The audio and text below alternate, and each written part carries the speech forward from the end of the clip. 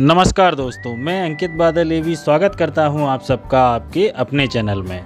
आज के इस दौर में टीवी और बॉलीवुड फ़िल्मों में ज़्यादा फ़र्क नहीं रह गया है। बीते कुछ सालों में टीवी की दुनिया में काफ़ी बदलाव देखे गए हैं और इसी वजह से बॉलीवुड के बड़े बड़े प्रोजेक्ट्स में अपने अभिनय का लोहा मनवाने वाले कलाकारों ने भी छोटे पर्दे पर अपना दमखम दिखाया और कई टीवी स्टार्स को भी बॉलीवुड में अपना हुनर दिखाने का मौका मिला।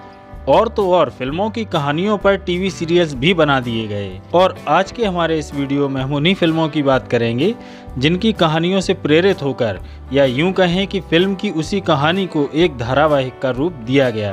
तो चलिए दोस्तों, वीडियो शुरू करते हैं। उससे पहले अगर आप लोगों ने हमारा चैनल सब्सक्राइब नहीं किया है तो इसे अभी सब्सक्राइब करें और बेल आइकन दबाएँ, जिससे आने वाले वीडियोस का नोटिफिकेशन आपको मिलता रहे। हमारी इस लिस्ट में पहले नंबर पर जिस सीरियल का नाम आता है वह है बढ़ो बहू।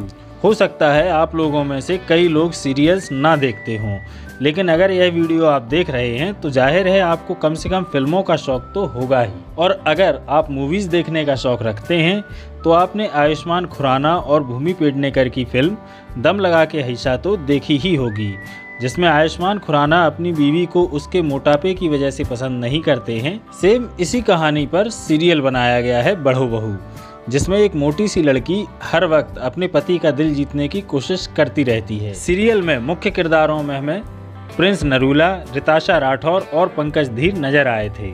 इस लिस्ट में दूसरे नंबर पर नाम आता है नामकरण टीवी सीरियल का। अजय देवगन, पूजा भट्ट और नागार्जुन की फ़िल्म जख्म को कौन भूल सकता है? जो शायद अपनी स्टोरी की वजह से ना सही, पर गली में आज चाँद निकला, इस गाने की वजह से तो याद आ ही जाती है। महेश भट्ट की फ़िल्म जख्म एक अवार्ड विनिंग फ़िल्म थी और कहा जाता है कि यह फ़िल्म महेश भट्ट की ज़िंदगी से भी प्रेरित थी और शायद इसी वजह से महेश भट्ट ने खुद एक बार फिर इस कहानी को पर्दे पर दिखाया सीरियल के रूप में। फ़िल्म जख्म और सीरियल नामकरण दोनों का निर्देशन महेश भट्ट ने किया था और फ़िल्म की तरह इस सीरियल को भी दर्शकों ने खूब पसंद किया। और इस लिस्ट में तीसरे नंबर पर नाम आता है सीरियल पेशवा बाजीराव का।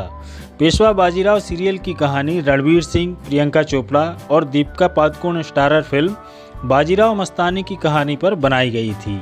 अब क्योंकि यह सीरियल एक ऐतिहासिक स्टोरी पर बनाया गया था, इसलिए इसे भी खूब टीआरपी मिली। और आगे बढ़ते हुए हमारी इस लिस्ट में चौथे नंबर पर नाम आता है नागिन थ्री का। नागिन थ्री सीरियल टीआरपी की लिस्ट में हमेशा टॉप पर रहा। नागिन थ्री धारावाहिक में एक्ट्रेस करिश्मा तन्ना अपने साथ हुए दुर्व्यवहार का बदला लेती हैं और इसके लिए वह अलग अलग रूप भी धारण करती हैं। सीरियल की कहानी में हल्का सा फेरबदल किया गया है। लेकिन आपको यह सीरियल देखकर फ़िल्म जानी दुश्मन, या फिर कहें कि पुरानी वाली फ़िल्म नागिन की याद आना स्वाभाविक है। और इस लिस्ट में पाँचवें नंबर पर नाम आता है झांसी की रानी का।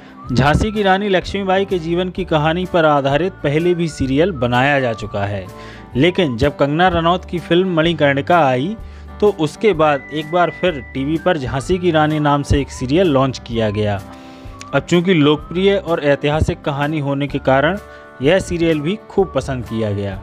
और आज के वीडियो में इतना ही। आपको इनमें से कौन सा सीरियल या कौन सी फ़िल्म पसंद है, आप कमेंट करके हमें ज़रूर बताएँ। जल्दी मिलते हैं अगले वीडियो में। तब तक के लिए नमस्कार, जय हिंद।